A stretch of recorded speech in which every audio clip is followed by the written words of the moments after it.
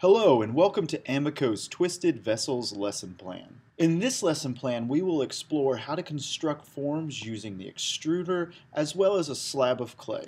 After wedging your clay, proceed to load the 2 inch hollow die form into your extruder. Feel free to experiment with different extruder dies.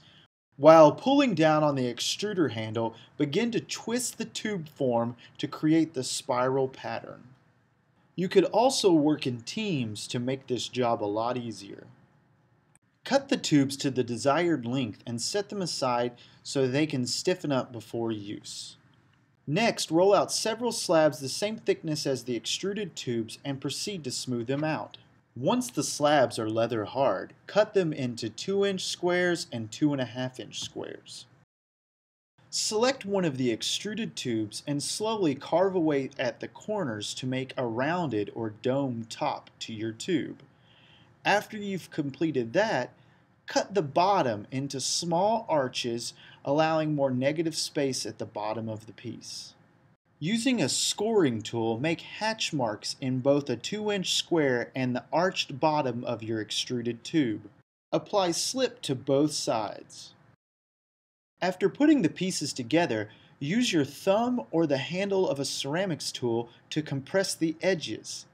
Trim away all the excess clay and smooth all of the corners with a sponge.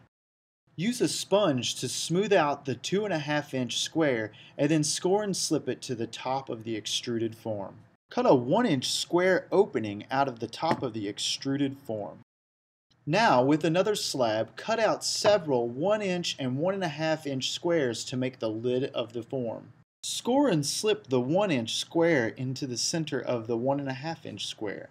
Now roll out a coil to make the handle. Roll the coil in on itself to create two spirals.